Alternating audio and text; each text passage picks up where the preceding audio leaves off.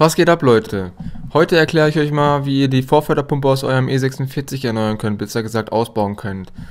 Vor etwa einem Jahr, also am 19. März 2016, kurz vor Ostern, hatte ich nämlich das Glück, ähm, eine Leckage unter meinem Auto vorzufinden, was auf den Tank zurückschließt. Am Tank hat es nämlich runtergetropft und da war ich erstmal ein wenig erschrocken. Ich dachte, es wäre erst der Tank. Äh, der war es zum Glück nicht, weil das Auto liegt halt auch nicht so tief, dass es eigentlich eine Bestätigung davon tragen könnte, wenn man irgendwo rüberfährt. Von daher war das eigentlich für mich ausgeschlossen.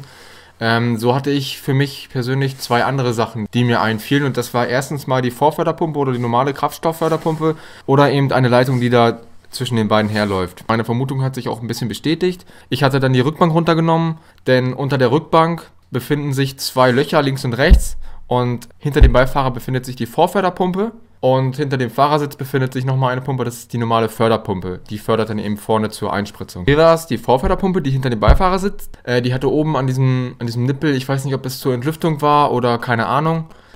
Auf jeden Fall ist da so eine Art langer Stift dran und da war ein ganz kleiner Haares drin. Den konnte ich bis heute noch nicht entdecken. Also ich wusste halt nur, dass es dadurch kommt als ich die Rückbank runtergenommen habe, habe ich halt schon dieses ganze äh, vollgesüffte Teil da gesehen. Also es lief wirklich am Tank runter. Weil wenn ihr die Rückbank runternehmt, seid ihr direkt am Tank quasi, ja. Und auf dem Tank oben drauf sitzt halt auch diese Vorförderpumpe. Und da findet ihr eben auch den Schwimmer, der eben für die Tankanzeige im Cockpit verantwortlich ist. Auf der Pumpe selber sitzt eine Art ähm, überdimensional große Schelle bzw. Mutter, keine Ahnung. Auf jeden Fall sind da überall so Einkerbungen drin.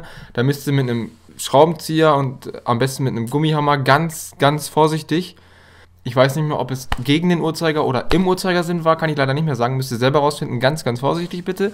Und ähm, wenn ihr diese Stelle gelöst habt, könnt ihr die einfach abnehmen und dann könnt ihr ganz langsam die Pumpe rausziehen. Wichtig, ihr solltet niemals vollgetankt haben. Allerhöchstens halb voll. Ich hatte den Fehler nämlich gemacht, am Vortag vollgetankt zu haben und ähm, über den Tank kann man nichts mehr absaugen, da eine Art Gitter unten drinnen liegt in dem, in dem Tankstutzen äh, als quasi Diebstahlsicherung. Ja. Ist auch nicht schlecht, nur leider in dem Fall war es halt doof, weil ich konnte keine andere Möglichkeit ziehen. Ich hatte auch keine Hebelbühne zu Hause, sodass ich irgendeine Kraftstoffleitung vorne abnehmen konnte und es daraus lassen laufen konnte. Also musste ich die Pumpe rausziehen und verantworten, dass eben ein hohes Maß an Kraftstoff, also Diesel, ausläuft. Bei mir war es sogar ein Viertel oder sogar ein Drittel Tank und das war halt schon ein bisschen ärgerlich. Ich hatte zwar eine Pumpe organisiert, so eine kleine Handpumpe, aber das lief nicht so wirklich reibungslos.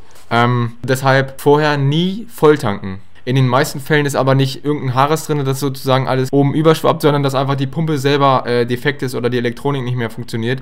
Das heißt, ähm, es schaut auf den ersten Blick aus, als wäre die Batterie leer, weil ähm, der Anlasser rödelt.